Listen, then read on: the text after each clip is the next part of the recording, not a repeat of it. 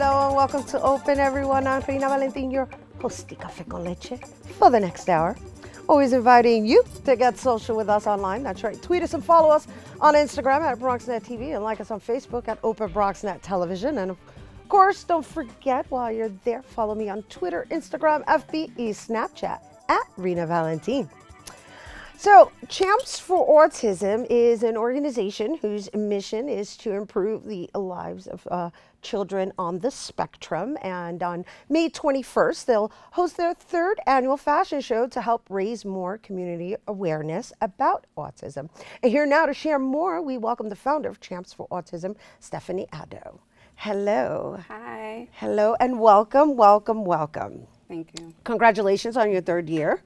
Yes, of, I'm super excited. Of presenting a fashion show. So, uh, my first question um, regarding the autism and just it, it's, it's become a little more common um, nowadays so um, it's really inspiring to uh, just read about your background and just all the efforts you put into um, providing a space uh, with resources uh, that's accessible to the community, um, and maybe even for people who may not want to hear um, the truth. Right. So, what inspired you to even create this and put so much that you do into it? Well, first and foremost, my son is the inspiration um, behind Champs for Autism. He had a diagnosis of autism at the age of um, two years old.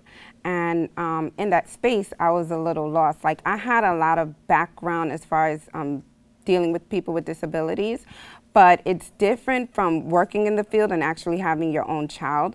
And from that point on, I realized that many people, like myself, especially people in the Bronx, are very limited to resources for children um, with autism. So um, I decided to create Champs for Autism, which basically will be a, um, in the future, we're planning on opening a private school for children here in the Bronx with autism. I believe that every parent does have the right to affordable private education if they would like to have so. Right now, it's not um, it's not easily accessible for children with autism. So, is there? Um, I guess there on the spectrum, right? Um, mm -hmm. I, I, just find it to be a lot more common than than usual um, as we continue moving forward, and and so how does a person even know if their child is on the spectrum? I said, not, I'm not just, I'm not referring to the like in-depth autism. I'm mm -hmm. saying mm-hmm. because there's so many different levels. Like, how does it, how how would a person even, I guess, come to terms with the fact that the, that their child is, and what can they do to either prolong it or work with it or yeah, prevent it? Uh, is that even possible? Um, prevention is not necessarily possible, um, but what I would say, I can only um, speak from my own experience mm -hmm. as a parent. Um, basically, education and networking is the key. Um, generally, being that I did have a background of children with disabilities, I was able to see the signs um, of Jacob. Jacob was not speaking at the time he should be at is, I believe it's like an 18 month milestone, he had very few words. He did hit all the other milestones as a, a baby, but speaking was a big issue.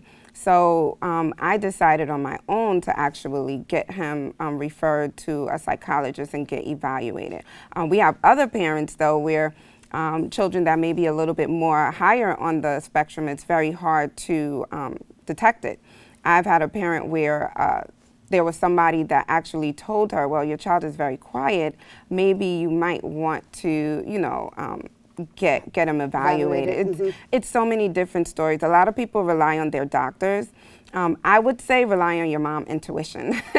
rely on your, your intuition that's within you. You you do know or you might have an inkling feeling that something is is wrong. And the worst that a person or a doctor could tell you is no, there's nothing wrong. And you know, the best is okay, there's something wrong and we can get it, we can start treating this early. Early intervention is key to being able to help your child the best. And so, of course, to create a sense of normality, right? Absolutely. And so, let's. This leads to the fashion show. Um, I need to know. I'm curious to know if the uh, the f- I guess the fashion models are they the children that attend your. Um, what do you have? You have after school programs. You have. Uh, I know you're designing the private school, and I know there's activities, right? You have uh, swimming and uh, all kinds of activities for these individuals. So, uh, is the fashion show for them and by them as well? Okay, so my after school program was a, a little different from Champs for Autism. This was um, my after school program that I had in the past. But as far as starting um, the Champs for Autism and the activities uh, for the fashion show, it's super exciting. There are children with and without disabilities that are participating in the fashion show. Um, we have this year um, many children on the spectrum now participating in the fashion show. Um, we have people that travel from all over. So last year we've had someone coming from Indianapolis and Virginia just to be a part of this fashion show in New York City.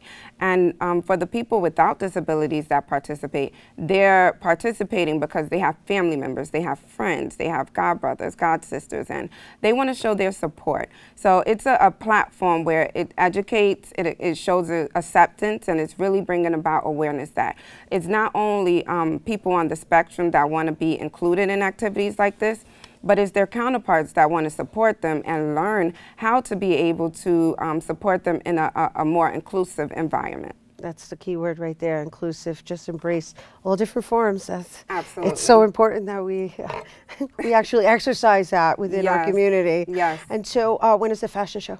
It is um, May 21st. It's going to be in the lobby of Bay Plaza Mall. Oh, nice. Yeah, so this very is, cool. Yes, yes. Um, we are lucky to have Bay Plaza as one of our sponsors. We have the Gap Kids as one of our sponsors also. We also have um, Teen Philly, which is a runway coach and charm school that's coming in from Philadelphia that has trained the children to walk down the runway.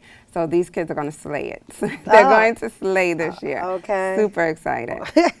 She's like, they're gonna slay because they're champs for autism. Yes. I Love it, love it. Thank you so much, Stephanie. Thank Woo! you. And you guys, once again, the third annual Champs for Autism Fashion Show is taking place on Sunday, May 21st, from 1 to 4 p.m. at the Bay Plaza Mall. And for more information, uh, be sure to visit their website, champsforautism.com. We do have to take a quick break, but we'll be back with more open after this.